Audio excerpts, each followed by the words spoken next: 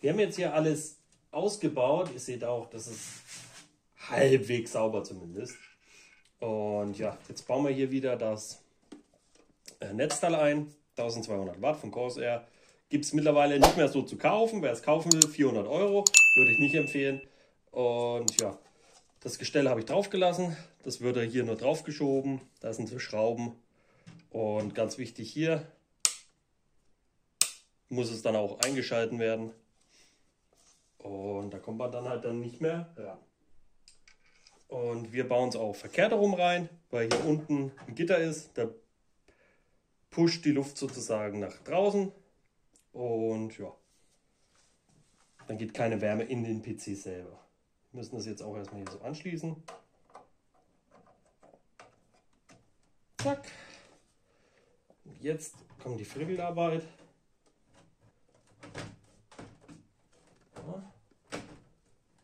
Jetzt.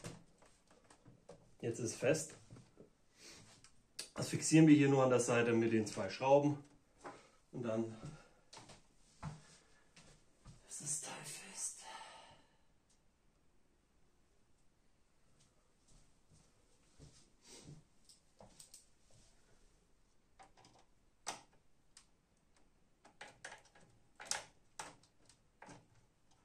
Ja, ich glaube die falschen.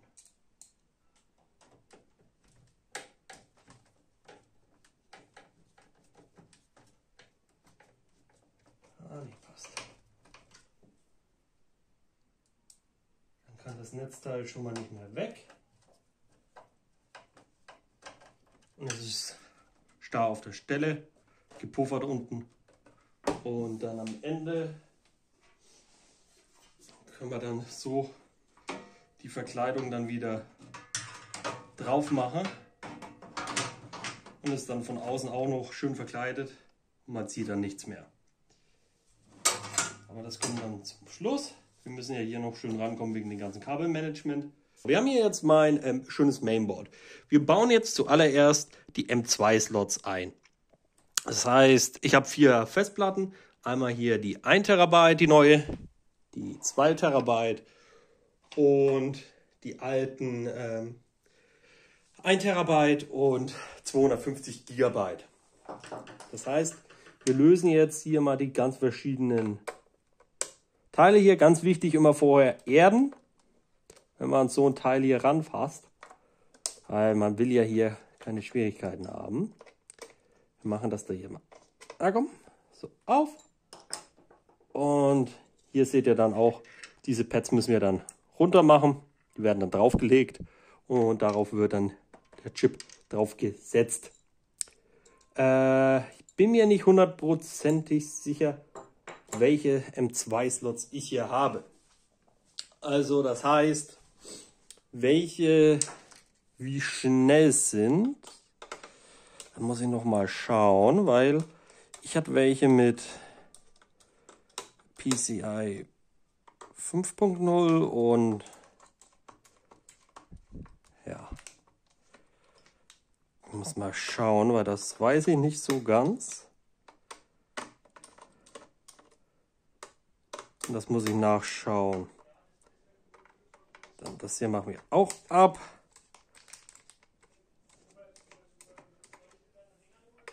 Und das da machen wir auch ab. Jetzt hier der ganze Block gleich ab. Dann montieren wir die, ziehen die Folien überall ab und dann geht's. So, na komm, kleiner Fratz. Wunderbar. Jetzt haben wir hier 1, 2, 3, 4 Anschlüsse. Und hier hinten dann über die Klebefolien, die wir runter machen müssen. Und das machen wir dann dementsprechend dann drauf. Wir haben jetzt hier unsere 2 Terabyte SSD und hier unsere 1 Terabyte SSD. Die da machen wir dann hier auf den Anschluss hier dann drauf. Und fixieren dann alles natürlich mit den Schrauben. Ähm, ich überlege jetzt gerade, ob ich es... Oh mein Gott, ob ich es hier festmache. Den Aufkleber hier machen wir natürlich runter. Wunderbar. Und jetzt stecken wir den so rein. Zack, hat klar gemacht. Und der wird dann hier fixiert. Das finde ich jetzt schön, dass die das so gelöst haben. Da drücken wir das da einfach hier so fest. Und die geht nicht mal hoch. Früher musste man das festschrauben bei meinem alten Mainboard. Jetzt drückt man das nur noch fest. Jetzt haben wir hier, was haben wir gerade weggemacht? Die 1 Terabyte. Jetzt glaube ich der zweite Slot war links.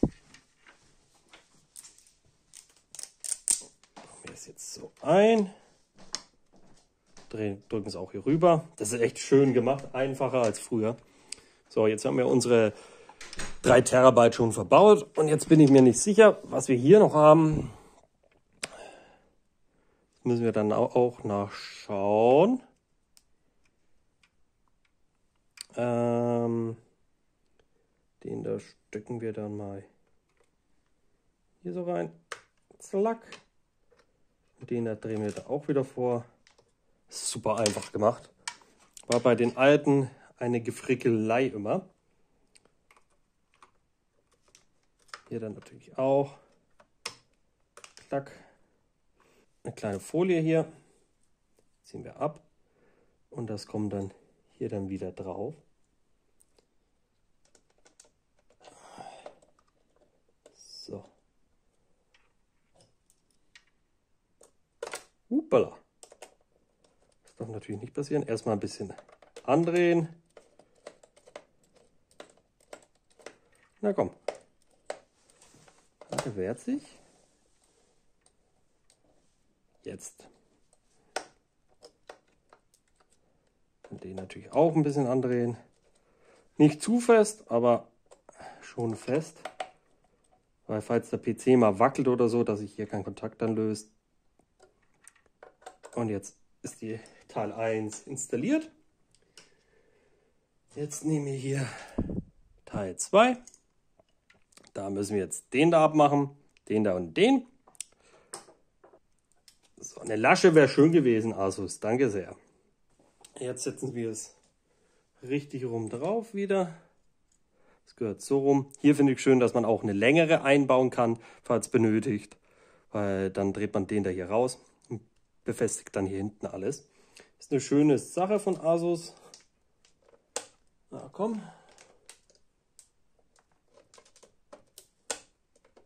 Müssen wir natürlich jetzt ganz genau gucken.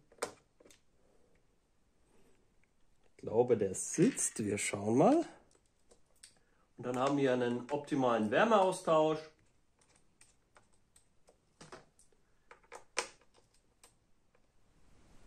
So, fest. Oh, den hier haben wir komplett vergessen. Der muss natürlich auch noch festgemacht werden. So. Dann haben wir schon mal die M2 SSDs wunderbar verbaut. Zack, der ist fest. Nochmal alles überprüfen, der da geht noch ein bisschen. Und ich habe einen Aufkleber vergessen. Kommt man da noch ran? Ja, den vergesse ich sonst hundertprozentig. Der bleibt weg. So, dann schauen wir hier nochmal fest und hier auch fest. Jetzt haben wir die Slots verbaut. Wir setzen jetzt hier gleich das Mainboard ein. Hier ist schon wieder ein bisschen vollgestaubt. Das kotzt mich ein bisschen an. Aber den Mini-Staub hier kriegen wir dann auch noch weg. So, gut. Wir setzen das jetzt hier drauf. Die Schrauben sollten passen. Es ist eigentlich leichter im Liegen zu montieren. Eigentlich. Muss jetzt natürlich ein bisschen gucken. So. Jetzt gehe ich mal auf die andere Seite. Ich weiß, es liegt beschissen. Aber. Aber. Wenn man alleine ist, geht es so leichter. Äh, bisschen nach den Löchern orientieren. Zack, wunderbar. Ich glaube, es ist drauf. Ja. Es ist, na fast. Fast, fast, fast, fast. jetzt, ich glaube, jetzt ist es gescheit hier. Ich hoffe, ihr seht das einigermaßen. Müssen gucken, dass die Löcher schön übereinander sind. Und dann kann man das nämlich schon festschrauben. Sieht aber gut aus mit den Anschlüssen. Ich suche mal kurz ein bisschen die, die Schrauben.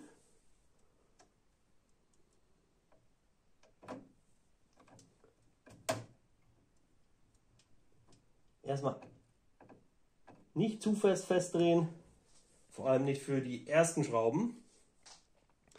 Dann kämpfen wir uns hier mal Schritt für Schritt durch. Ich mache die etwas versetzt fest. Das heißt unten rechts und dann oben links. Für euch natürlich jetzt in einem anderen Blickwinkel. Aber dann geht die Spannung ein bisschen raus. Okay, das sieht alles soweit ganz gut aus. Als nächstes wird vielleicht einen oder anderen überraschen, machen wir als nächstes die Kühlung hier oben drauf, dass ich meinen Deckel wieder drauf montieren kann. Und ja, das machen wir dann als nächstes, dass ich hier nichts mehr antitschen kann und dass hier sicher ist, sauber ist, etc. pp. Als nächstes ist vielleicht ein bisschen untypisch, baue ich jetzt hier meine äh, Wasserkühlung ein. Das heißt, ich montiere hier oben den Block und dann stecken wir das auch gleich hier rein. Und das ist jetzt hier so der Plan. Wie gesagt, ich habe mich für die Silent Loop äh, 2 entschieden von Be Quiet. Und ja, dachte mal, ich gebe denen mal eine Chance, weil ich habe ja eh ein Be Quiet System und mit den Lüftern bin ich sehr, sehr zufrieden, weil die sehr laufruhig sind und dennoch sehr gute Kühlleistung bringen. Und ja, das da baue ich hier rein. Das Coole ist auch hierbei, das kann man auch mal dann nach zwei Jahren, so wie ich es verstanden habe, nachfüllen oder wird es empfohlen. Da ist dann auch gleich so ein Mittelchen dabei. Also ich glaube, normalerweise muss da schon Wasser drin sein. ich hoffe es. Und ja, deswegen montieren wir das dann gleich hier so. Das Schöne ist, der richtige Sockel ist hier schon drauf gegeben oh, auf dem Mainboard.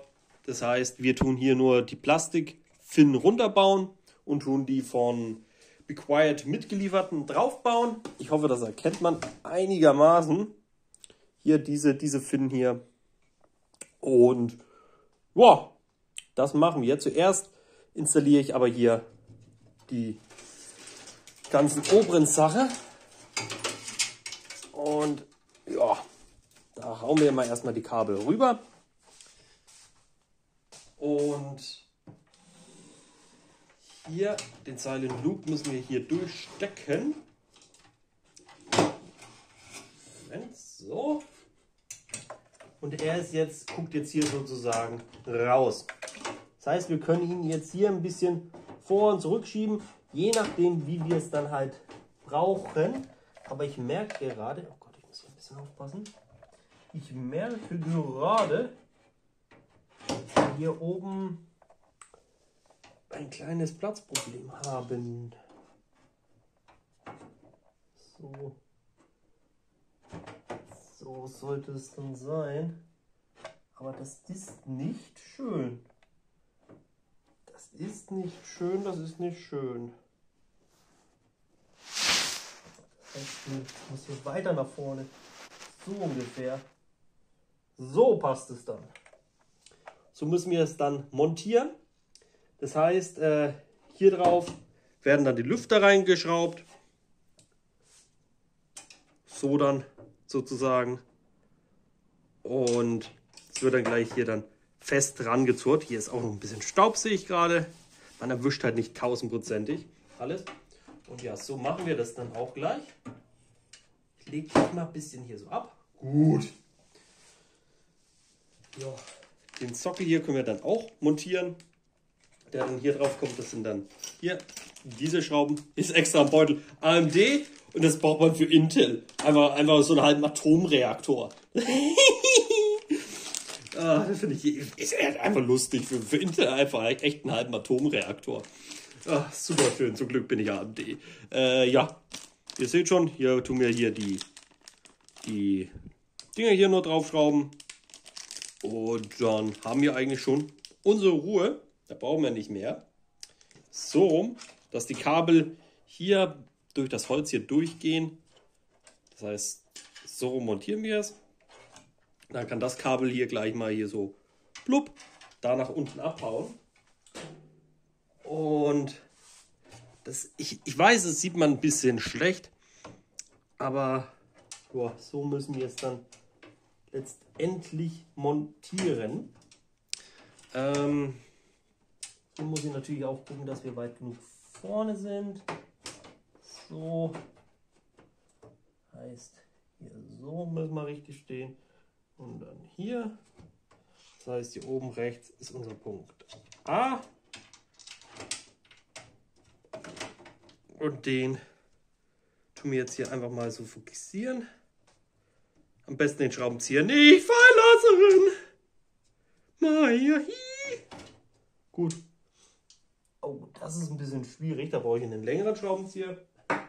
Aber ich bin ja für alles gewappnet.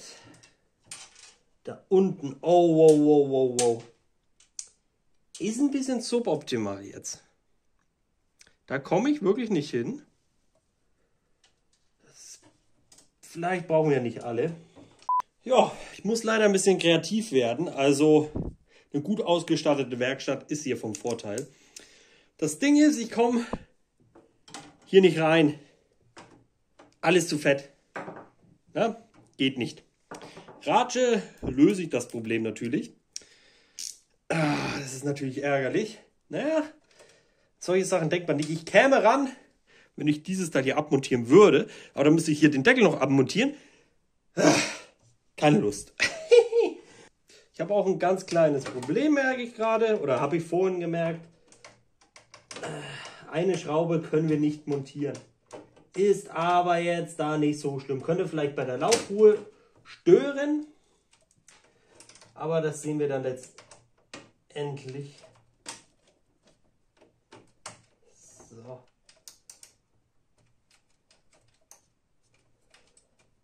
Passt natürlich auch der Aufsatz nicht hundertprozentig, aber leider habe ich keinen anderen hier.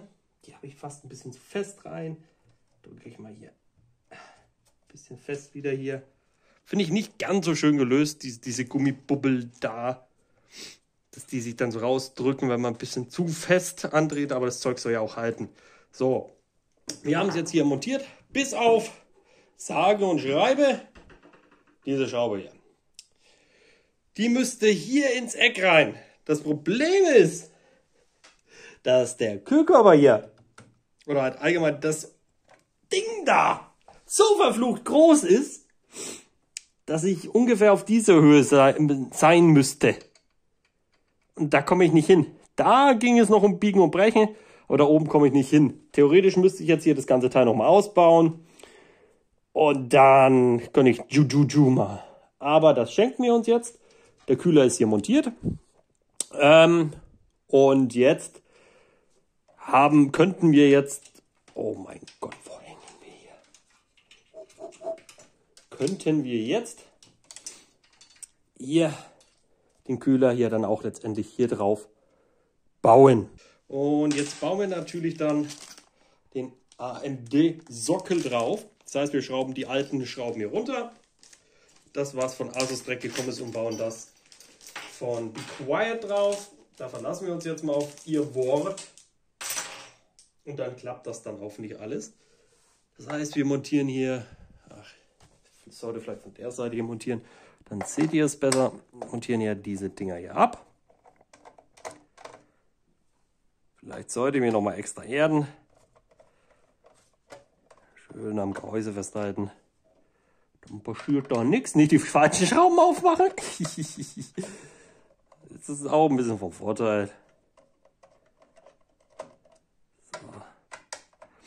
Machen wir hier alles auf. Bis sie durchdrehen.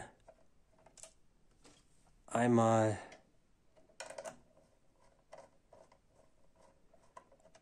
Na, noch nicht. Zweimal.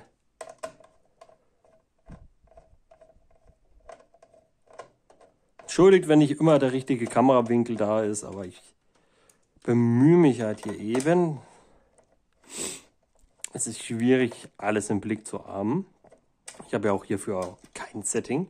So, alles montiert. Jetzt richtig rum die Teile auch montieren. Das heißt, so rum, nicht so. Jetzt tun wir hier die Plastikgehäuse runter. Die andere Seite können wir so einfach montiert lassen.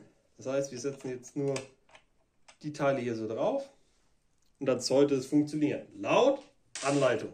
Ja, werden so oben drauf gestellt, dass der Abstand stimmt. Die kann man auch nicht falsch rum draufstellen, die müssen hier einsinken. Und jetzt habe ich euch angelogen, die müssen in der Tat so montiert werden. Nach innen, nicht nach außen. Bin ich selber ein bisschen überrascht? Bin ich selber ein bisschen überrascht? Aber dagegen sträuben wir uns jetzt mal nicht. Wir schrauben das Zeug dann hier schön fest. Hier auch nach innen. Ja, mal hinschmeißen. Das kann der Rugenwehr. Jetzt passt mal auch der Name Rugenwehr Software. Hahaha. so. Schön montieren. Jetzt seid übrigens mal bei einer Premiere dabei. Das ist jetzt das erste Mal, dass ich einen Computer fast hundertprozentig alleine zusammenbaue. Ich hatte nur vorhin ein bisschen Hilfe beim Saubermachen und Co. Aber hier der Zusammenbau, der läuft fast hundertprozentig alleine. Für mich auch eine kleine Premiere. Hier müssen wir aufpassen, fest, aber nicht allzu fest. So. Dann natürlich hier auch. Na komm.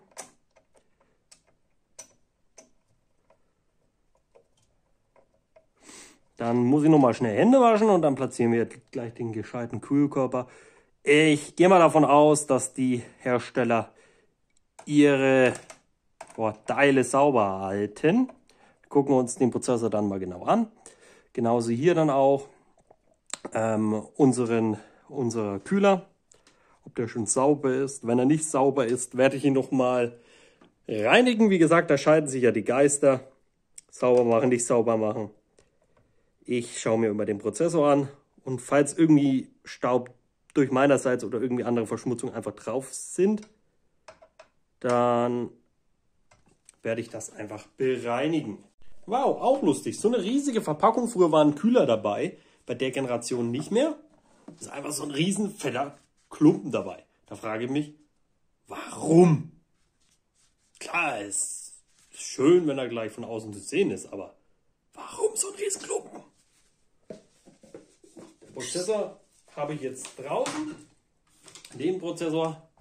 Hier ist das geile Teil. Den müssen wir jetzt so rum draufsetzen normalerweise. Das sollte irgendwo eine Kante zu sehen sein. Und ja, nochmal kurz erden, damit hier nichts in die Luft fliegt. Und dann können wir eigentlich schon einbauen. Äh, ich hole noch ganz schnell meine Kühlflüssigkeit. Wir verwenden die von Arctic. Äh, ich bin gerade auch noch am Überlegen. Und zwar wäre es vielleicht nice, wenn ich irgendwas zum Verschmieren hätte. Da scheiden sich auch natürlich die Geister. Soll man das jetzt verschmieren oder einfach ein Platschen in die Mitte draufhauen? Das ist auch wieder eine Frage, wie man es am besten macht. Und ja, jetzt habe ich alles zusammen. Hier haben wir die schöne, schöne Arctic M-6. Ja, die hat eine sehr gute Kühlleistung. Deswegen habe ich mir die so besorgt und verwende nicht die, die von Be Quiet dabei ist. Ich weiß nicht ganz, was das ist für Zeug. Und ja, ich habe mich jetzt darauf eingeschossen. Das heißt, wir drücken mal hier den Hebel langsam mal hoch. Gott, ich bin aufgeregt. Das ist natürlich recht spannend wieder jedes Mal. Okay, okay, den kann man nicht überdehnen. Okay, er stößt hier hinten an. Ist auch irgendwie logisch. Äh, so müssen wir ihn dann reinhauen, dann runterpressen und das Plastik hier klickt sich dann oben raus. Sieht soweit ganz gut aus, nichts beschädigt. Puh, mir ist schlecht wie Sau. Weil jetzt bräuchte ich anscheinend wirklich mal eine helfende Hand. Nirgends drauf datzen. Und hier müssen wir drauf achten. Irgendwo ist hier ein kleiner Pfeil, da oben rechts ist ein kleiner Pfeil. Also hier. Fokussieren, Moment. Da ist ein kleiner, kleiner süßer Pfeil. Und da unten auf dem Mainboard ist auch ein kleiner süßer Pfeil. Hier oben rechts. Und der muss dann natürlich dahin gucken. Das seht ihr jetzt ein bisschen schlecht. Aber ist nicht so schlimm. Gluck. Geht rein. Drauf.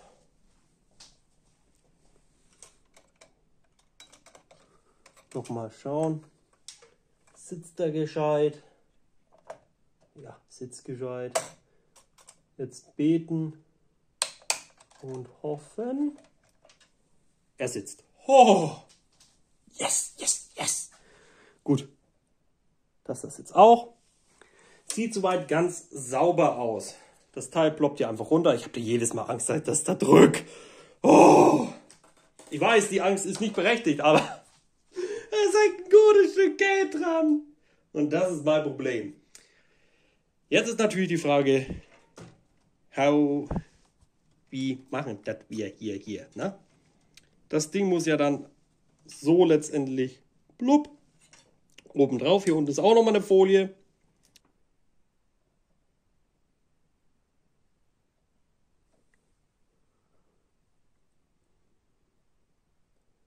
Das ist jetzt keine schöne Erbse.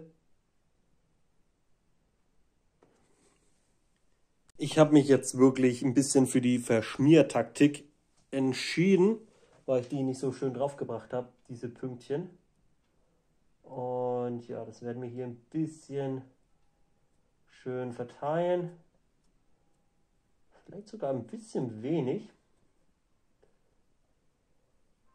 Ich habe hier noch so einen äh, Stab von meinen alten Kühlmitteln gefunden. Ich habe jetzt alles gut verteilt. Äh, ich habe es nicht hundertprozentig in den Ecken rein, weil das ist das Blöde, in Anführungszeichen finde ich bei AM5. Es sieht zwar episch aus, aber wenn das hier rauf geht, ist es eben nicht so praktisch meines Erachtens.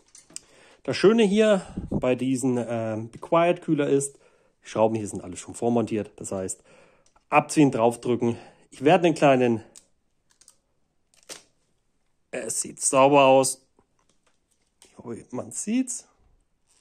Ich werde hier jetzt einen kleinen Testlauf starten, um zu sehen, wie gut sich alles verteilt.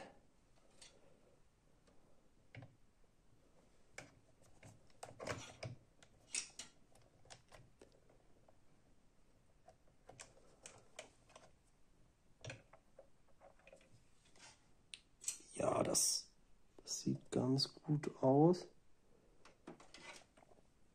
mal kurz hier vielleicht nicht noch mehr verteilen. Das Teil wehrt sich aber ein bisschen. Eine Ewigkeit später. Es ist fest. In der Tat. Ich werde verrückt. Ich lach mir einen ab. Ich weiß letztendlich nicht, warum das so lange gedauert hat. Ich hoffe, es ist nichts kaputt. Ich bete zu Allah, meinetwegen, ist mir egal. Ich bete zu jedem, der mir erlaubt, dass hier jetzt nichts kaputt ist. Ihr habt keine Ahnung, warum das jetzt so schwer war, diese zwei Schrauben hier festzuschrauben. Ich weiß es nicht. Es war irgendwie Millimeter. Wenn die gepackt hat, hat die nicht gepackt. Wenn die gepackt hat, hat die nicht gepackt. Ich, meine Vermutung ist wirklich, eine von den beiden Schrauben ist ein bisschen zu kurz. Das ist meine Vermutung. Oder beziehungsweise das Blech hier, oder das Stahlteil hier, das ist äh, ein bisschen weit rausgebogen. Meine Vermutung. Gottes Willen, ich hoffe, dass nichts kaputt ist. Ich sehe jetzt natürlich auch nicht, wie weit die Schrauben hier drin sind. Ich würde sagen, wir stellen mal das Gehäuse auf und dann montieren wir die RAM-Sticks. Ja, tun die Aufkleber runterziehen und sind happy erstmal.